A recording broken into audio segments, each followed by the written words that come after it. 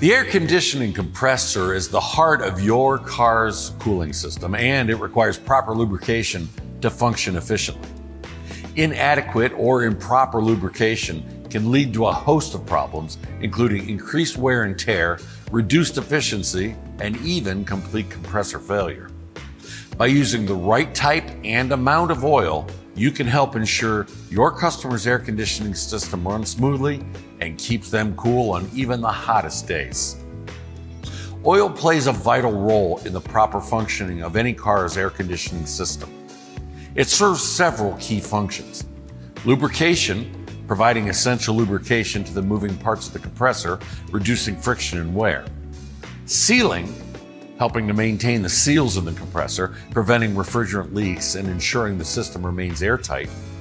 Heat dissipation, assisting in the dissipating of heat generated by the compressor, helping to keep the system cool and efficient. Corrosion protection, containing additives that help protect the metal components of the air conditioning system from corrosion and rust.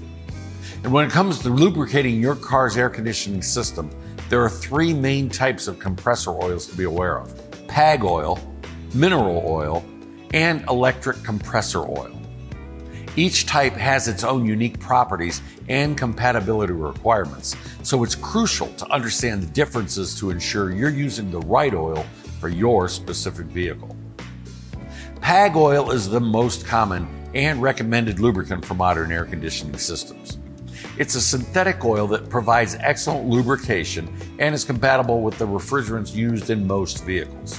Mineral oil is an older type of compressor oil that was commonly used in older vehicles.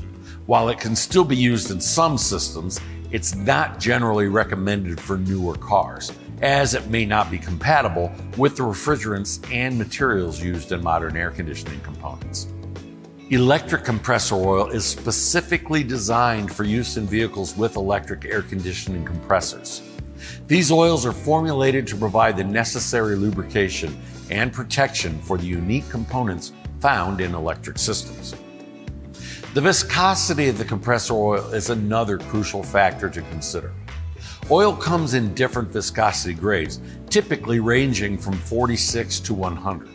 The higher the viscosity number, the thicker the oil. The correct viscosity for your customer's vehicle's air conditioning system is determined by the compressor design and the operating conditions it experiences.